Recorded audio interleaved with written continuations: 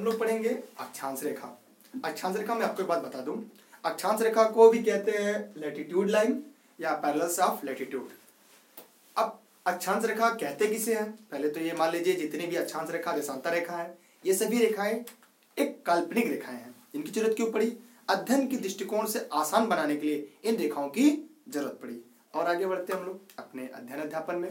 तो सबसे पहला प्रश्न उठता अक्षांश रेखा किसे कहते हैं? तो सबसे पहले सिंपल सा एक फॉर्मूला या परिभाषा बता देते हैं फॉर्मूला सॉरी परिभाषा बता देते हैं। वो ये है कि दो ग्लोब पर या पृथ्वी पर पश्चिम से पूर्व खींची जाने वाली काल्पनिक रेखा को क्या कहते हैं? अक्षांश रेखा कहते हैं। दूसरा भूमध्य रेखा से खींची गई काल्पनिक कोणी दूरी, दोनों गोलार्धों में खींची गई काल्पनिक कोणी दूरी को अक्षांश रेखा कहते हैं, या काल्पनिक कोणी दूरी जो पूर्व से पश्चिम या पश्चिम से पूर्व तरफ़ मिलाते हुए समानांतर खींची जाए, उसे क्या कहते हैं? अक्षांश रेखा कहते हैं। लेकिन वास्तव में अक्षांश रेखा का जो फैक्ट डेफिनेशन है, वो मैं आपको बता रहा हूँ। अक्षांश रेखा कैसे बनाया गया था? ध्रुव तारा जानते हैं आप? ध्रुव तारा किसका घोतक है? अच्छा हाँ एक क्वेश्चन आपसे है कि ध्रुव तारा किस दिशा का घोतक है, या किस दिशा का प्रतीक है? तो ध्रुव तारा अच्छा बता ही देते कि ज़रूरत है मुझे बताने की उत्तर दिशा का। तो ध्रुव तारा का जो आपतन कोण होता है जो जो ध्रुव से हम भूमध्य रेखा की तरफ़ चलते हैं, उसका आपतन कोण कम होता जाता है और ध्रुव से भूमध्य रेखा पे पहुँचने पे उसका मान ज़ीरो हो जाता है। तो जो जो नीचे की तरफ़ जाते हैं, माने ध्रुव तारा से ध्रुव तारा से खींची गई। या ध्रुव तारा से पृथ्वी के सापेक्ष बने आपतन कोण का जो मान होता है, वही अक्षांशी कोणी रेखा होती है। यही रेखा के आधार पर दोनों गोलार्धम खींची जाती है, जिससे हम अक्षांश रेखा कहते हैं। क्यों? क्योंकि देखिए ग्लोब क्या है? ये उभार है। देख रहे ना? ये उभार है। कैसा है? यहाँ पे उभार है। तो जो जो मित्र की तरफ़ जाते हैं, कहाँ से? ध्रुव से भूमध्य रेखा की तरफ़। तो देख रहे हैं लगातार जो आपका सॉरी कौन है। तो जो इसका आपतन कोण है, वो आपतन कोण लगातार कम होता जाता है। अब भूमध्य रेखा पे आके ज़ीरो रहता है, इसलिए जो ज़ीरो डिग्री इसे भूमध्य रेखा के नाम से भी जानते हैं। और इसी के आधार मानकर इसके अलग अलग डिफिनेशन है, फिर मैंने आपको बता दिया। ये भी आप जानते रहिएगा। क्यों? कि ध्रुव तारा का जो आपतन कोण होता है, या ध्रुव तारा तो बनाए गए पृथ्वी के जिस स्थान से जो आपतन कोण होगा, वही वहाँ से उसकी अक्षांश रेखा का मान होगा, वही उसकी अक्षांश रेखा होगी। ठीक? अब आते हैं आम बोलचाल की भाषा में। पहले समझ लेते हैं। पहले मैंने क्या बताया? देखिए, पहले समझ लेते हैं, फिर इसको डिफाइन करते हैं। ये ग्लोब हो गया। ग्लोब को पश्चिम से पूर्व या पैरल देख रहे हैं? जो खींची गई रेखा, इसे क्या कहते हैं? अक्षांश कहते हैं। पहले डिफाइन कर लेते हैं, फिर आपको एकदम बारीकी समझाने का प्रयास करते हैं। क्योंकि यहाँ से प्रश्न आपके एग्ज़ाम में आते हैं। ये हमारे होगी पृथ्वी। ये हो गई हमारी पृथ्वी या ग्लोब इसको बीच से काटना है तो कैसे काटेंगे? यहाँ से काट दिया मैंने। ज़ीरो डिग्री इसका नाम रख दिया मैंने भूमध्य रेखा। कौन सा नाम रखा? भूमध्य रेखा। कौन सा नाम रखा? भूमध्य रेखा नाम रखा। ध्यान समझिएगा, भूमध्य रेखा। भूमध्य रेखा, इसे कहते हैं विश्वत रेखा या विश्वोदित अंग्रेज़ी में क्वेटर लाइन कहते हैं। यह पृथ्वी को दो बराबर भागों में बांटता है। काल्पनिक रेखा है। ऊपर को कहते हैं उत्तरी गोलार्ध, नीचे कहते हैं दक्षिण गोलार्ध। ये क्लियर हो गया। अब इस पे अक्षांशी रेखा कैसे की जाती है, इसको समझ लेते हैं। अभी तक मैंने आपको बताया उत्तर, दक्षिण, कई चीज़ें मैंने बता दी, लेकिन एक चीज़ और बताया मैंने कि इसको समझते कैसे बना है। देखिए, आपने बचपन में, देखिए, चांदा आपने पढ़ाई होगा। ठीक? यहाँ पे नब्बे डिग्री होता था यहाँ दस बीस तीस चालीस पचास साठ सत्तर अस्सी नब्बे। दस बीस तीस चालीस पचास साठ सत्तर अस्सी नब्बे। इस तरह से रेखाएँ होती थी। याद होगा शायद आपको। तो अगर मान लीजिए इसको चादस बना के हमने रख दिया ठीक? तो दस डिग्री यहाँ लगा दस डिग्री यहाँ। कितनी रेखाएँ खींची मैंने? एक। फिर इसी तरह क्या? दो तीन। इस तरह बढ़ते गए बढ़ते गए बढ़ते गए। फिर तो, तो यहाँ पहुँच गए नब्बे डिग्री तक। तो कितनी रेखाएँ खींची? अगर हम भूमध्य रेखा से देखें बढ़ रहे हैं, देख रहे हैं? तो कितनी रेखा हुई? ऊपर तरफ़ बढ़ते जा रहे हैं। एक डिग्री इधर, एक डिग्री इधर। दोनों मिला दिया। कितनी रेखा हुई? एक, दो डिग्री, तीन डिग्री। इस तरह मिलाते मिलाते कहाँ तक पहुँचे हम? यहाँ तक पहुँच गए। ध्रुव तक। तो ऊपर कितनी मैंने खींची? नब्बे। नब्बे रेखा। और फिर नीचे भी आएँगे। इसी तरह नीचे भी होगा। देख रहे हैं? इस तरह क्या? नब्बे ऊपर और नब्बे नीचे। कुल कितनी रेखा होंगे? नब्बे ऊपर है, नब्बे नीचे। अगर पूछ दिया कि पूरे ग्लोब पर कुल अक्षांश रेखा की संख्या कितनी है, अगर कोई भी एग्ज़ाम है तो सबसे पहला जो उत्तर लगाएँगे, हम लगाएँगे कितना? 180 माने 180 कुल अक्षांश रेखा कितनी है? 180 है। भैया, नब्बे उत्तरी गोलार्ध है नब्बे दक्षिण गोलार्ध में कुल रेखा कितनी हो गई 180 ठीक? अब अगला प्रश्न। पृथ्वी का या ग्लोब पे सबसे बड़ी अक्षांश रेखा कौन सी है? सबसे बड़ी। सबसे बड़ी की बात आ जाएगी तो क्या हो जाएगी? भूमध्य रेखा। तो भूमध्य रेखा भी तो एक अक्षांश रेखा है, क्योंकि ये भी उसके डेफिनेशन को फॉलो करती है। ये भी पश्चिम से पूर्व जाती है। ठीक?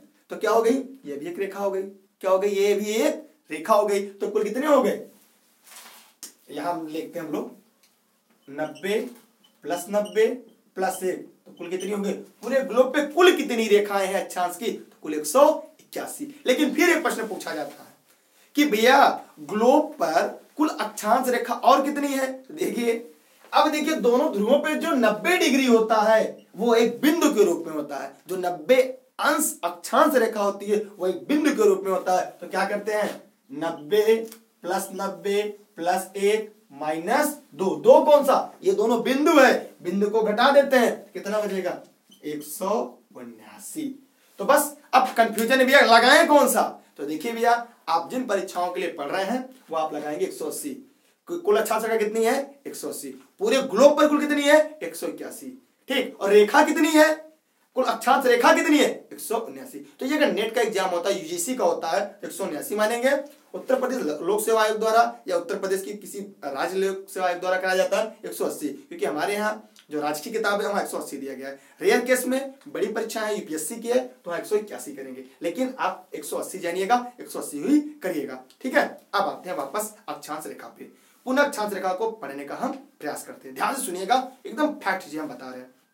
देखिए, अक्षांश रेखा क्या था? मैंने जैसा बताया कि दोनों गोलार्धों में पश्चिम से पूर्व खींची जाने वाली काल्पनिक रेखा को क्या कहते हैं, अक्षांश रेखा कहते हैं, या कोणी होती है। ठीक कोणी दूरी होती है। ये भी आपका क्लियर हो गया। अब कोण कैसे बनाते हैं भी मैंने बता दिया आपको। यहाँ चांदा रखा भैया, जैसे मैंने यहाँ रख दिया। यहाँ पे तीस, यहाँ पे तीस। यहाँ से देखिए नाप लिया, तीस तीस, दोनों को मिला दिया। क्या हो गई? एक रेखा हो गई। ठीक तो जितनी भी अक्षांश रेखाएँ होती हैं, वे सभी वृत्ताकार होती हैं। क्या होती हैं? वृत्ताकार होती हैं। किंतु जो ध्रुव होता है, वो वृत्ताकार नहीं बिंदु के रूप में होता है। तो अगर ध्रुव को छोड़ दिया जाए तो जितनी भी अक्षांश रेखाएँ होती है, सब वृत्ताकार होती हैं। तो पूरे ग्लोब पर कुल कितनी अक्षांश रेखाएँ वृत्ताकार हैं या वृत्त का निर्माण करती हैं? कुल एक रेखाएँ हैं, जो क्या करती हैं? वृत्त का निर्माण करती हैं। क्यों? क्योंकि दोनों बिंदु है, बाकी सब क्या है? वृत्त है। ठीक? और जो जो भूमध्य रेखा से ध्रुवों की तरफ़ बढ़ते हैं, त्यों तो उनकी लंबाई क्या होती है? लगातार कम होती जाती है। क्यों? अपने गणित में पढ़ा होगा। ये हो गया वृत्त। तो वृत्त की जो सबसे बड़ी जीवा होती है, वो व्यास होती है। अब व्यास से दोनों तरफ़ बढ़ेंगे, क्या होगी? जीवा लगातार छुट्टी होती जाएगी। देख रहे हैं ना, दूरी क्या कम होती जा रही है और ध्रुवों पे जाके शून्य हो जाती, ज़ीरो हो गई है। तो हम क्या जानते हैं कि जो अक्षांश रेखाएँ हैं, वो क्या है? क्या चीज़ें पहली चीज़ हमने क्या देखा? वे वृत्ताकार है। और जो जो ऊपर जाते हैं, उनकी लंबाई कम होती जाती है और ध्रुवों पे जाकर शून्य हो जाते हैं, ज़ीरो हो जाते हैं। तो ये कॉन्सेप्ट समझ में आ गया। और कुल कितनी रेखाएँ हैं? अक्षांश रेखाएँ, कुल वृत्ताकार रेखाएँ कितनी है? एक सौ उन्यासी। अब प्रश्न उठता है कि ये समानांतर भी होती हैं। ये कैसे? देखिए, आपने एक डिग्री खींचा, फिर दूसरी डिग्री खींचा तो इन दोनों के बीच की दूरी समान होगी। तो जितनी भी अक्षांश रेखाएँ होती हैं वह एक दूसरे के समानांतर या पैरलर होती हैं। समानांतर मतलब एक डिग्री खींचा गया, फिर इसके ऊपर दूसरा, तीसरा तो क्या होंगी? एक दूसरे के समानांतर होंगी। इसलिए सभी अक्षांश रेखाओं की बीच की दूरी सदैव क्या होती है?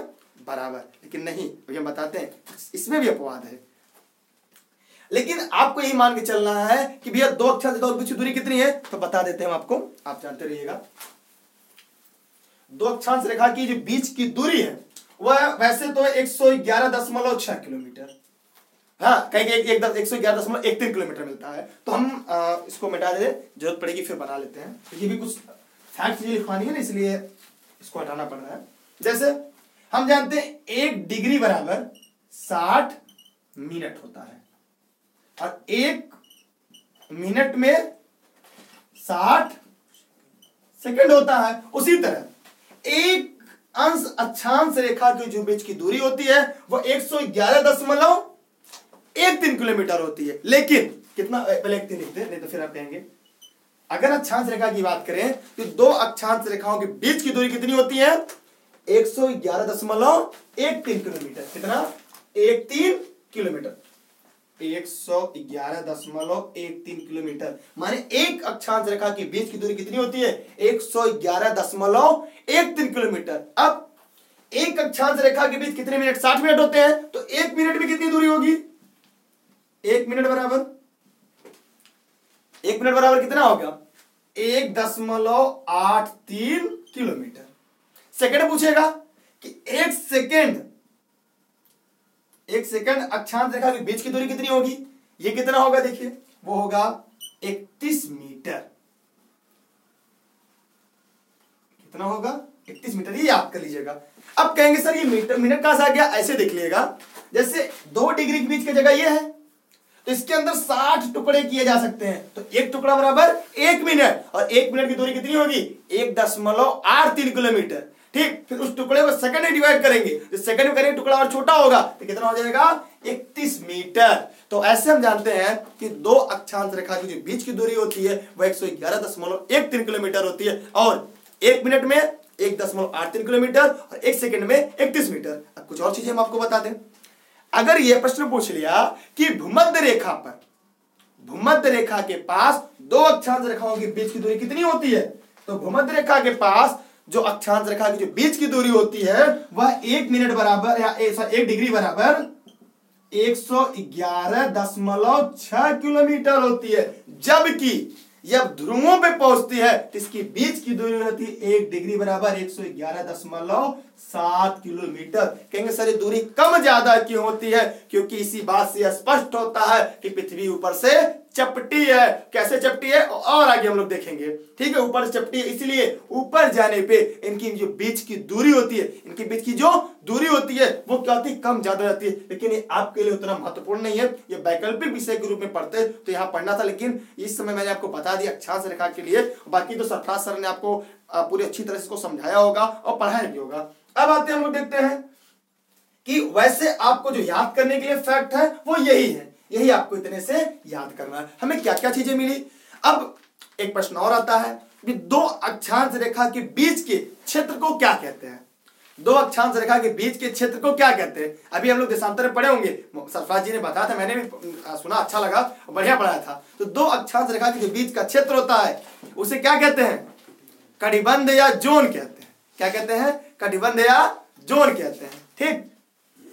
तो हमने क्या देखा कि 180 रेखाएँ होती हैं, उनकी बीच की दूरी समझ में आ गया, वो एक दूसरे के समानांतर होती है। और जो जो भूमध्य रेखा ध्रुव की तरफ़ बढ़ती है, उनकी बीच की दूरी बराबर रहती है, लेकिन उनकी आपस में लंबाई लंबाई क्या होती है? कम होती जाती है। देखते चलिए कैसे। देखिए, ये हो गया, देख रहे हैं, यहाँ दूरी ज़्यादा, ऊपर गया दूरी कम, और ऊपर गया दूरी कम, ऊपर गया दूरी कम। जब ऊपर आ गया एकदम, क्या होगी? बीच की दूरी एकदम कम। तो सबसे ज़्यादा दूरी कहाँ होगी? भूमध्य रेखा पे। तो सबसे बड़ी अक्षांश रेखा क्या होगी?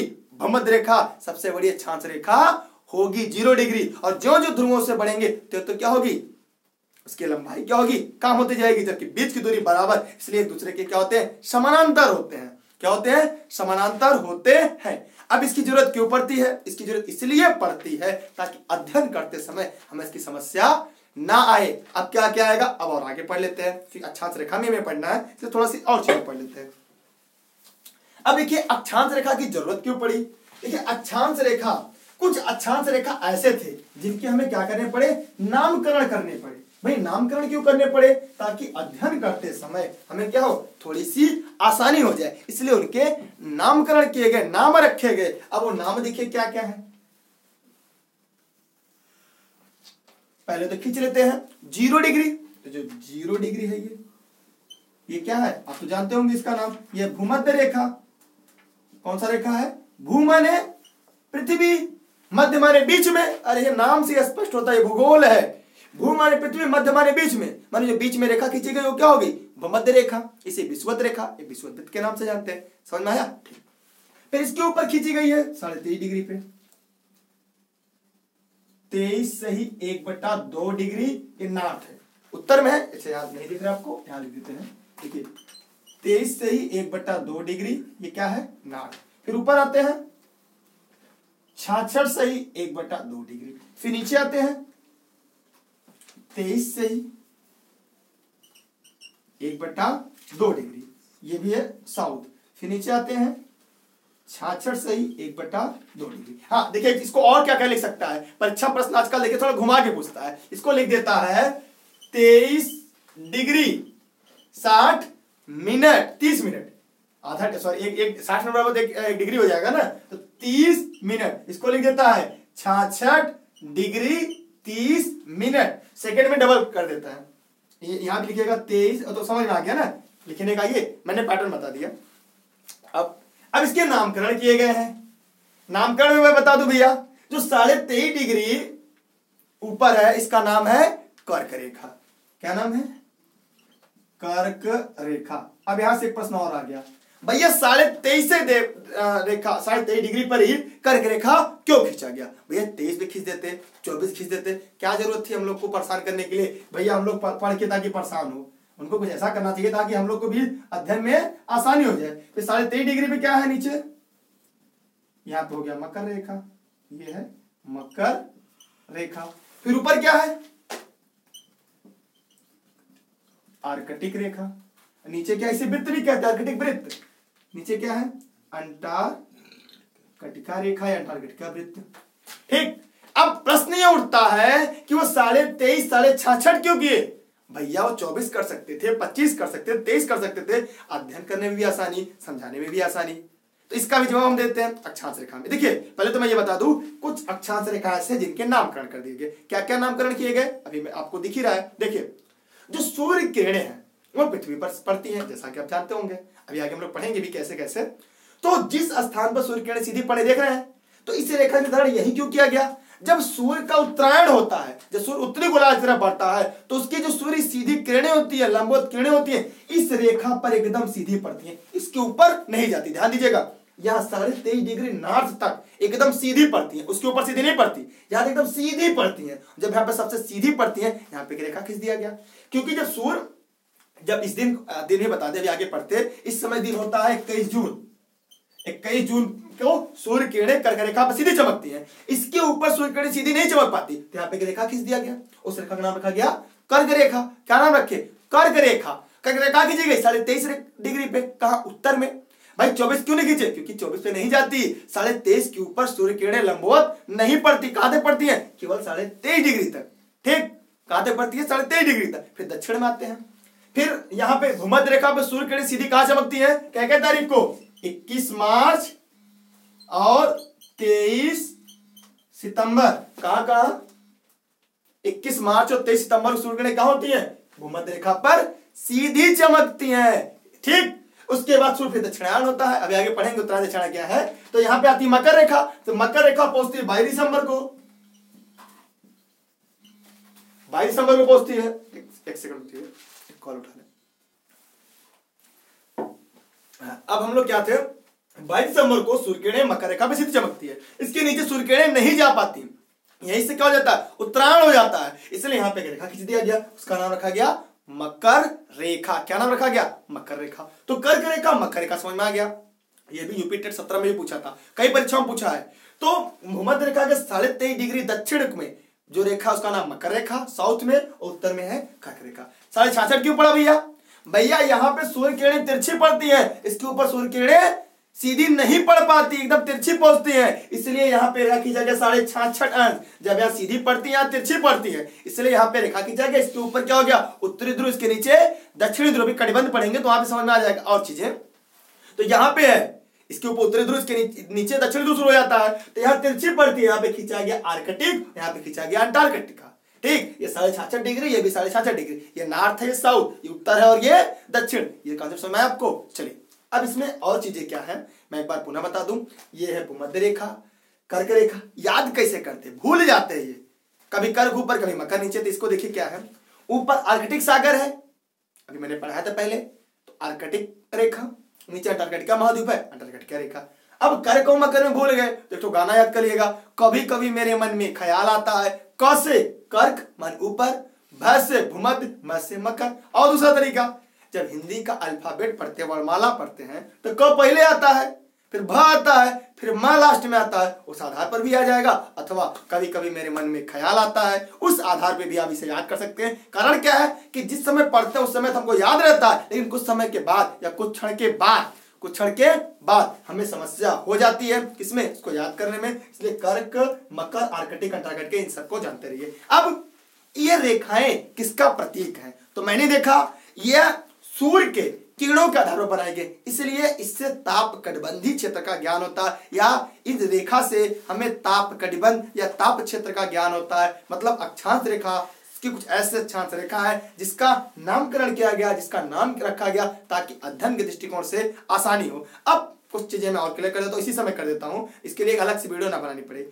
अब ये पूछता है कि मकर रेखा मकर रेखा किन आ, मकर रेखा किन महाद्वीपों से होकर गुजरता है? तो ऐसे आप यहाँ भी देख सकते हैं, मकर रेखा, लेकिन हम एटलस में देखेंगे मैप पे देखेंगे कैसे गुजरता है। ठीक तो ये कुल कितनी प्रमुख रेखा है? तीन। कर्क, भूमध्य और मकर। ये तीनों, तीन तीन महाद्वीप से गुजरती हैं। ये आपके लिए महत्वपूर्ण है और आप इसको याद कर लीजिएगा, देखिए। अगर मकर रेखा देखे, देखिए ये मकर रेखा की लाइन है तो मकर रेखा तीन महाद्वीपों से गुजरती है। कहाँ से? कौन कौन ऑस्ट्रेलिया महाद्वीप। अफ्रीका महाद्वीप और दक्षिणी अमेरिका महाद्वीप। तीन महाद्वीपों से गुजरती है कौन? मकर रेखा। और ऊपर आते हैं। अब यहाँ पे आते देखिए यह भूमध्य रेखा। भूमध्य रेखा भी तीन महाद्वीप से गुजरती है। तीन महाद्वीप कौन कौन से है? देखिए यहाँ पे है। ये है एशिया महाद्वीप। एशिया महाद्वीप का हिस्सा आता है ये। यहाँ पे जानते हैं ना आ, ये आ, मलेशिया इंडोनेशिया है ना? ये भी एशिया महाद्वीप का हिस्सा है। एशिया महाद्वीप अफ्रीका महाद्वीप और फिर ये दक्षिणी अमेरिका महाद्वीप। तो यह रेखा भी भूमध्य रेखा भी तीन महाद्वीपों से गुजरती है। एशिया, अफ्रीका और दक्षिणी अमेरिका। क्या क्या देखा मैंने? कि मकर रेखा पे कौन कौन तीन, एक, दो, तीन, भूमध्य पे तीन। अब कर्क रेखा पर भी तीन महाद्वीप है कौन कौन देखिए, हो गया कर्क रेखा, एशिया, यूरोप और उत्तरी अमेरिका। यहाँ पे देखिए ना, ये ये देखिए आपका है, ये साढ़े तेईस डिग्री। सॉरी गलती हो गई। ये हो गया एशिया महाद्वीप मैंने साढ़े साठ पकड़ लिया था। ये साढ़े तेईस डिग्री पे हो गया एशिया महाद्वीप, फिर अफ्रीका महाद्वीप, फिर उत्तरी अमेरिका महाद्वीप। तो यह भी तीन से, माने तीन रेखाएँ तीन तीन महाद्वीपों से होकर गुजरती हैं। अब एक प्रश्न मैं आपसे पूछता हूँ, उसका जवाब आप कमेंट बॉक्स में दीजिएगा। यह कि कौन सा ऐसा महाद्वीप है जिससे तीनों रेखाएँ गुजरती हैं? भूमध्य रेखा, कर्क रेखा, मकर रेखा। और ऑस्ट्रेलिया महाद्वीप से कौन सी रेखा गुजरती है? ऑस्ट्रेलिया महाद्वीप से। अगला प्रश्न सरफराज जी ने पढ़ाया भी था आपको, वहाँ से प्रश्न पूछ रहे हैं, भारत के बीच से कौन सी प्रमुख अक्षांशी रेखा गुजरती है और भारत के कितने राज्यों से होकर गुजरती है? इसका भी जवाब आप कमेंट बॉक्स में दीजिएगा। मैंने आपको अक्षांश रेखा के आधार पर बताने का पूरा प्रयास किया और हम उम्मीद करते हैं आपको समझ में भी आ गया होगा। अगर आपको समझ में आ गया होगा तो आप इस वीडियो लिंक को शेयर कर दीजिएगा ताकि और लोगों तक पहुँच जाए। जिस तरह मैंने मेहनत करके आपके लिए वीडियो बनाई, वैसे आप भी यह वीडियो उन लोगों तक पहुंचाइएगा जिसको उसे ज़रूरत होगी, जरूरतमंद होगा और रख लेगा, बाकी वायरल कर देंगे। जिस तरह अफवाहें और फालतू चीज़ें हम एक दूसरे को शेयर कर देते हैं, ये किसी भी काम की चीज़ें है, इसलिए आप अपने सभी व्हाट्सएप ग्रुप फेसबुक ग्रुप उन सभी जगह शेयर कर दीजिएगा, क्योंकि यह किसी के भविष्य से भी जुड़ा हो सकता है। तो यह सीरीज़ लगातार आपको चलती रहेगी। सामान्य अध्ययन में मैं आपको लगातार भूगोल की स्टेप बाय स्टेप सारी चीज़ें लेकर आऊँगा। उधर से मोहम्मद सरफराज इंडियन ज्योग्राफी पढ़ा रहे इसके बाद ये सब पूरा हो जाएगा। फिर हम पढ़ेंगे वैकल्पिक विषय ग्रुप में भूगोल। तब तक आप सभी को ढेर सारी शुभकामनाएँ। जय हिंद, जय भारत।